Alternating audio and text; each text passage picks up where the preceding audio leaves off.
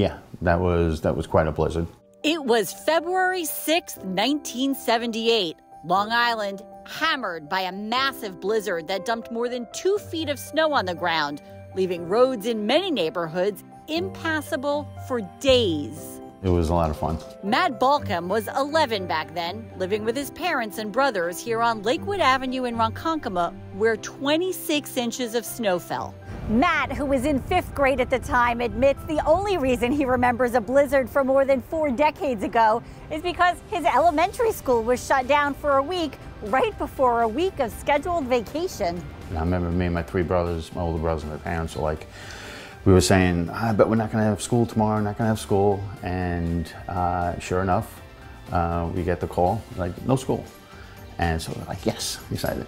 And then it just stretched into no school for 10 days straight, which was awesome. This was their Kodak moment. Snow piled so high, they climbed up the mountain and were as tall as the street sign.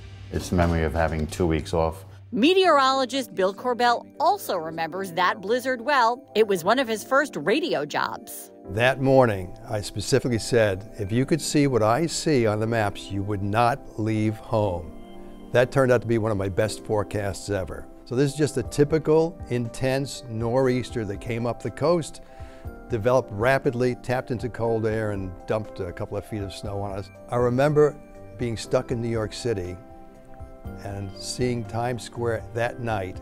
No cars moving, no taxis, people on skis in Times Square. Now that's an image for the history books. I'm Shari Einhorn for Newsday TV.